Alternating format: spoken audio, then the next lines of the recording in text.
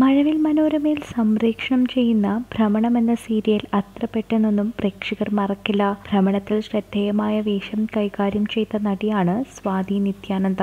അത്രമേൽ പ്രേക്ഷകർക്ക് ഇഷ്ടപ്പെട്ട നടി കൂടിയാണ് സ്വാതി. ഭ്രമണം എന്ന സീരിയൽ വഴി ഒരുപാട് പ്രേക്ഷകരിലേക്ക് എത്താനും പല സീരിയലുകളിൽ ഓഫർ ലഭിക്കാനും നടിക്ക് സാധിച്ചിട്ടുണ്ട്. കഴിഞ്ഞ വർഷമാണ് നടി സീരിയലിലെ ക്യാമറമാനായ പ്രതീഷ് നെന്മാറയെ വിവാഹം കഴിച്ചത്. ഇപ്പോൾ നാമം ജപിക്കുന്ന വീട് എന്ന സീരിയലിന്റെ തിരക്കിലാണ് സ്വാതി. സാധാരണ വിവാഹം കഴിഞ്ഞാൽ നായികമാർ സീരിയലുകളിൽ അഭിനയിക്കുന്നതിൽ നിന്നും പിന്മാറുകയാണ് പതിവ്. എന്നാൽ തന്റെ ഭർത്താവ് സീരിയലിലേക്ക് ക്യാമറമാൻ ആയതുകൊണ്ട് തന്നെ സീരിയലിലെ ബുദ്ധിമുട്ടുകൾ നന്നായി അറിയാം. അതുകൊണ്ട് തന്നെ തന്റെ അഭിനയത്തിന് അതൊരു വിലങ്ങുതടിയാവി മാറിയിട്ടില്ല എന്ന് താരം പറഞ്ഞിട്ടുണ്ട്. ഇപ്പോൾ സ്വാതിയുടെ ഒരു ചിത്രം കണ്ട പ്രേക്ഷകർ നെറ്റിയിരിക്കുകയാണ് എന്താണ് ഞങ്ങളുടെ സ്വാതിക്ക് സംഭവിച്ചത് എന്നാണ് അവർ ചോദിക്കുന്നത്. ആരാണ് സ്വാതിയെ ഇങ്ങനെ ചെയ്തത്? തുടങ്ങിയ നിരവധി ചോദ്യങ്ങളാണ് പ്രേക്ഷകർ ഉന്നയിക്കുന്നത്. സ്വാതിയുടെ മുഖം ആസിഡ് ആക്രമണത്തിൽ പൊള്ളലേറ്റ രീതിയിലുള്ള ചിത്രങ്ങളാണ് ഇപ്പോൾ പുറത്തു വരുന്നത്. സീരിയലിന്റെ ലൊക്കേഷനിൽ നിന്നുള്ള ചിത്രങ്ങളാണ് ഇപ്പോൾ പ്രേക്ഷകർ ഞെട്ടലുണ്ടാക്കുന്നത്. ഇത് ശരിക്കും സംഭവിച്ചാണെന്നുള്ള രീതിയിൽ പ്രേക്ഷകർ ഒരു നിമിഷം ചിന്തിച്ചുപോയി.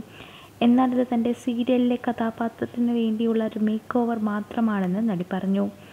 ഇങ്ങനെ ചെയ്തെടുക്കാൻ ഒരുപാട് ബുദ്ധിമുട്ടായെന്നും തന്റെ മുഖം ഇപ്പോൾ കഷ്ടപ്പെടുകയാണെന്നും നടി പറഞ്ഞു.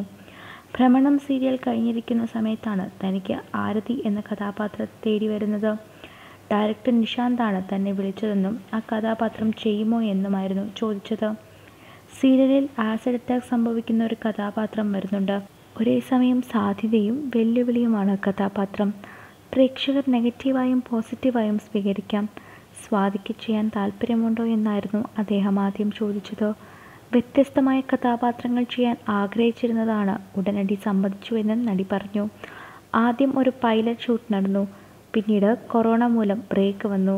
കൊറോണ വ്യാപനം ഒന്ന് നിയന്ത്രണ വിധേയമായപ്പോഴാണ് ഷൂട്ടിംഗ് ആരംഭിച്ചതെന്നും സ്വാതി പ്രേക്ഷകരോട് പറഞ്ഞു. ഇപ്പോൾ വിജയകരമായി സീരിയൽ നൂറ്റി അൻപത് ദിവസം പിന്നിടുകയാണ്.